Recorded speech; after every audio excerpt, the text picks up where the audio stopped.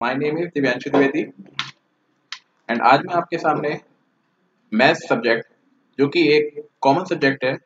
But हर बच्चा इस चीज़ को लाइटली लेकर, ना लेकर, बहुत ही ज़्यादा सीरियसली लेके स्कोर करने की सोचता है बट वो फाइनली उस चीज़ को रिकोगनाइज नहीं कर पाता। आज मैं आपके सामने इन्हीं सब बातों को डिस्कस करना चाह रहा हूँ कि आप कैसे अपनी मेंटलिटी को चेंज करके किस तरीके से आप अपने वर्किंग को चेंज करें और किस तरीके से अपनी स्ट्रेटजी बनाएँ कि जिससे कि आपका जो सीबीएसई का फाइनल एग्ज़ाम वॉट आप जो अटेम्प्ट करना चाह रहे हैं और how to score hundred on hundred in tenth standard specially for CBSE maths class तो उसी का सोल्यूशन मैं आपको आज बताने जा रहा हूँ कि फ़र्स्ट ऑफ़ ऑल जो स्टूडेंट्स मैथ्स को लेके सोच रहे हैं कि that is a very typical subject तो ये उनकी एक भ्रम है बिकॉज़ मैथ्स में जो स्ट्रांग हो गया, वो ही कैन डू एनीथिंग वो अपने आप को हर एक चीज़ में फास्ट कर सकता है। फास्ट होने के बाद आप मैथ्स करें that is not a compulsory but अगर आप मैथ्स कर रहे हैं तो then you can take anything in दूसरी बात कि जब बात करते हैं हम लोग मैथ्स की तो सबसे पहले हमें एक, अपनी एक प्लानिंग सेट करनी चाहिए, क्योंकि डे बाय डे हमारा जो बोर्ड का एग्ज़ाम टाइम पीरियड है, वो हमारे नियर अबाउट आता चला जा रहा है। तो ऑब्वियसली जो हमने आठ दस महीने में अपने आप को जो प्रिपेयर किया तो पॉसिबल ही नहीं है कि उसको हम लोग लास्ट डे में उतना पूरा, उतनी सेम टाइम पीरियड को एट मंथ्स टाइम पीरियड को we can control in whole two और two and half months that is not a possible but उसके लिए बेटर ऑप्शन ये है कि हम अपनी स्ट्रेटजी चेंज करें। क्योंकि जो हमने पहले पढ़ लिया अब उस पढ़ी हुई चीज़ को हम रिवीजन के टाइम पे अपने को किस तरीके से मैनेज करें तो वही टिप्स को मैं आज आपके सामने शेयर करना चाह रहा हूँ कि जिसको आप फॉलो करके अपने स्कोर को हंड्रेड ऑन हंड्रेड में कन्वर्ट कर सकते हैं। Firstly, I want to discuss about this 100 on 100. As we know that 10th standard कि 10th स्टैंडर्ड में आपकी जब बात करते हैं तो जिसमें 80 मार्क्स का तो सिर्फ़ क्वेश्चन पेपर डिपेंड करता है एंड 20 मार्क्स इंटरनली होता है, जो बच्चे के हाथ में खुद होता है, और वो चाहे अगर तो वो 20 और 20 खुद स्कोर कर सकता है। बिकॉज़ जिसमें उसके पर्सनल बिहेवियर काउंट होता है नोटबुक के मार्क्स काउंट होते हैं and how is working in school as a student क्या उसकी एक्टिविटी है, क्या उसका बिहेवियर है तो ये ट्वेंटी मार्क्स का इंटरनली जो वोट उसके हाथ में है। वो जैसे चाहे वैसे उसको स्कोर कर सकता है। But when we talk about 80 marks तो उस 80 मार्क्स के क्वेश्चन पेपर को अटेम्प्ट करने के लिए सिंपल सी एक बात है कि हमारे पास एक टाइम मैनेजमेंट बहुत ज़रूरी चीज़ है। जो टिप्स में आता है, सबसे पहले क्या चीज़ है? टाइम मैनेजमेंट कि हमारे पास जो टाइम लिमिटेशन है that is three hours only और उस थ्री आवर्स में हमें थर्टी क्वेश्चन के एक क्वेश्चन पेपर को अटेम्प्ट करना है, जो कि टोटल एटी मार्क्स का तो वी हैव टू डिसाइड कि उसका टाइम मैनेजमेंट किस सेक्शन में, किसमें कितना हमको अपना टाइम स्पेंड करना है। जैसे कि टाइम मैनेजमेंट की बात आ गई, और सेकंड अगर टिप्स की बात करें, कि अब रिवीजन की अगर बात करें तो रिवीजन हम लोग एक दिन में, दो दिन में पूरे बुक का नहीं कर सकते। दैट इज़ अ कॉमन चीज़। बट अगर हम लोग अपने हर एक चैप्टर्स के जो फॉर्मुले हैं या चैप्टर से रिलेटेड आपके जो थ्योरम्स है उनको अगर हम लोग किसी एक रफ कॉपी में अगर एक सेपरेट रजिस्टर में मेंशन कर लें तो लास्ट टाइम में ये हमारे लिए रिवीजन के लिए बहुत एक अच्छा तरीका प्रूफ हो सकता है। सेकंड इसके बाद आपके नेक्स्ट टिप्स की बात अगर करें कि जो क्वेश्चंस हम लोग जब अटेम्प्ट करते हैं किसी एक्सरसाइज या किसी बुक में जब पर्टिकुलर चैप्टर को हम लोग अटेम्प्ट करते हैं तो कोशिश करिए कि ज़्यादा से ज़्यादा और हो सके तो उस एक्सरसाइज के ईच एंड एवरी टाइप के जितने भी क्वेश्चन है सबको सॉल्व करिए। बिकॉज़ वेरिएशन भी आपको मिलेगा प्लस आपकी प्रैक्टिस भी होगी। और प्रैक्टिस के साथ साथ आप जब उस जगह अपने आप को रिकॉल करेंगे और इन केस अगर आपको कोई प्रॉब्लम क्रिएट हो रही है तो कोशिश करिए अपने उस प्रॉब्लम का solution at a time on the spot ही ले लें। किसी भी तरीके से, चाहे वो अपने टीचर से, किसी भी अपने एल्डर्स भाई, बहन, किसी भी रेफरेंस से या अपने किसी फ्रेंड सर्कल से सोल्यूशन उस क्वेश्चन का ज़रूर ले लें। बिकॉज़ आज के बाद अगर वो क्वेश्चन आप दोबारा अटेम्प्ट करेंगे तो ऑब्वियसली फिर जो उस समय आपके पास माइंड में जितने भी स्टडीज़ के साथ प्रॉब्लम आएँगी, वो नेक्स्ट टाइम रिपीट नहीं होगी। तो बेटर ये कि वो सोल्यूशन आपका ऑन द स्पॉट आपके साथ माइंड में परमानेंट रहेगा और नेक्स्ट टाइम इस तरीके की प्रॉब्लम आपके सामने नहीं आएगी। फिर बात करते हैं फॉर्मुलेज और रजिस्टर की जो हम लोग बता ही चुके हैं डिस्कशन हो ही चुका। फिर जो बच्चों का जो प्रेजेंटेशन है लास्ट में मैं, चूँकि सीबीएसई में मैंने अपना एक अच्छा खासा टाइम स्पेंड किया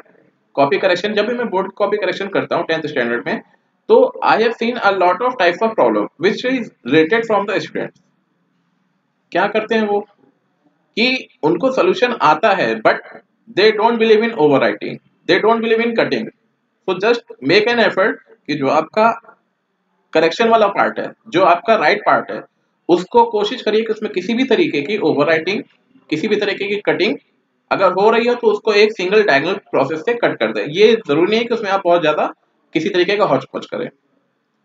और इन केस अगर आपको कोई रफ कॉलम करना रफ वर्किंग करनी है तो साइड में किसी भी एक प्लेस पे आप एक रफ कॉलम ड्रॉ कर सके अपना एक रफ पोर्शन के काम को कंप्लीट कर सकते क्यों? बिकॉज़ अब इसी टिप्स में अगर बात करें तो cleanness is make some different between top score students and bottom score students because copy में करेक्शन के टाइम पे टीचर के पास इतना टाइम नहीं रहता कि वो एक एक चीज़ के एक एक कंटेंट को ध्यान से पढ़ सके। तो कोशिश करिए कि उसका आप लोग अपने आप में कंट्रोल रखे करें। और रही बात सिलेबस की सिलेबस को सबसे पहले आपको समझना चाहिए कि सिलेबस आपका क्या है। क्योंकि टेंथ लेवल है टेंथ लेवल में ओनली फिफ्टीन सिक्सटीन चैप्टर्स हैं that is enough for tenth standard लेकिन 15 चैप्टर्स देखने में तो है, लेकिन जब यूनिट वाइज अगर हम लोग इसको डिस्क्रिमिनेशन इसका अगर कर दें तो only first unit is that is belong from real numbers और इसकी कंटेनिंग टोटल सिक्स मार्क्स की। सेकेंड आपका ऑप्शन आता है एलजेब्रा एलजेब्रा में आपके कौन कौन से चैप्टर काउंट हो रहे हैं? Polynomial next one is AP linear equation two variable and quadratic equation. These four chapters are containing total 20 marks. तो ये 20 मार्क्स का आपका सेकेंड यूनिट के इंटरनली आ रहा है। आफ्टर दैट जो थर्ड यूनिट की अगर बात करते हैं third unit is related from coordinate geometry जो कि सिर्फ़ फॉर्मुला बेस्ड एक्सरसाइज चैप्टर्स दोनों के ऊपर डिपेंड कर रही है और वो भी आपका सिक्स मार्क्स के अकॉर्डिंग कंटेनिंग है। तो हम लोग इजिली उसमें मार्क्स कैप्चर कर सकते हैं। फिर कोऑर्डिनेट ज्योमेट्री के बाद का जो पोर्शन है that is based on geometry geometry जिसको बच्चे बहुत ज़्यादा प्रॉब्लम समझते हैं कि बहुत ज़्यादा इश्यूज़ हैं थ्योरम्स हैं प्रूविंग है तो उसी के लिए जो हमने अभी स्टार्टिंग जैसा हमने डिस्कस किया कि स्टार्टिंग में कि एक रफ रजिस्टर जो कि आपके लिए फेयर का काम करेगा और जिसमें आपके डिफरेंट टाइप्स के थ्योरम्स जो कि आपके सिलेबस से कंडक्टेड है इंक्लूडिंग फॉर्मूला तो उसको आप एक अपनी कॉपी में बना लेंगे तो रिविजन टाइम में ये ज्योमेट्री वाला पोर्शन आपको हेल्प करेगा। और इस ज्योमेट्री के इंटरनली आपके दो चैप्टर इंक्लूड हो जाएँगे। और ज्योमेट्री में आपका ज्योमेट्री का पोर्शन जो है, ये आपका तकरीबन जो है 12 से 15 नंबर का after that trigonometry trigonometry is a major issue for students but that is totally based on formula एक सिंपल सी चीज़ को सीख के हम लोग उसको आगे फॉरवर्ड कर सकते हैं। और ये टिक्नोमेट्री में आपके दो चैप्टर जो इंक्लूड हो रहे हैं दैट इज़ एक्सरसाइज जो कि based on eight chapter and the second one height and distance इस टिग्नोमेट्री में आपके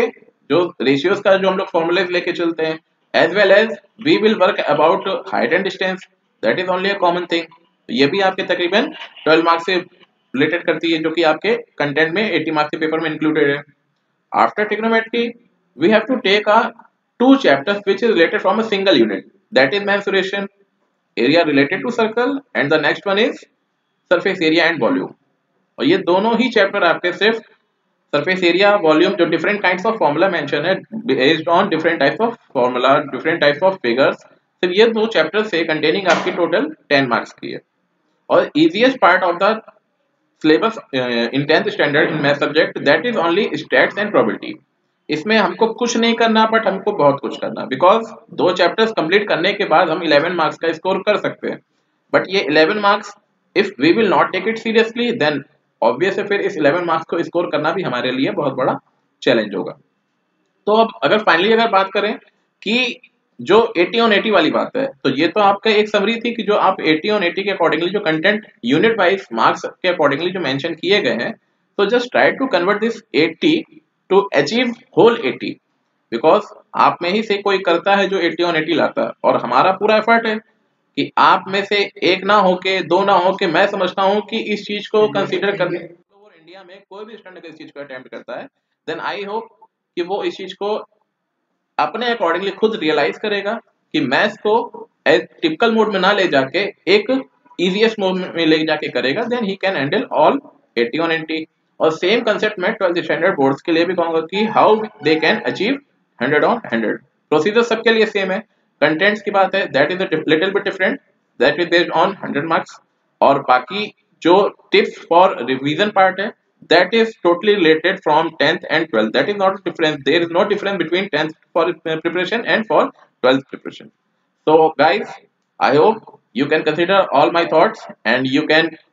share my the view with your own and hope कि आप सब अच्छा करेंगे सब पढ़ो and wish you all the best to all of you children thank you so much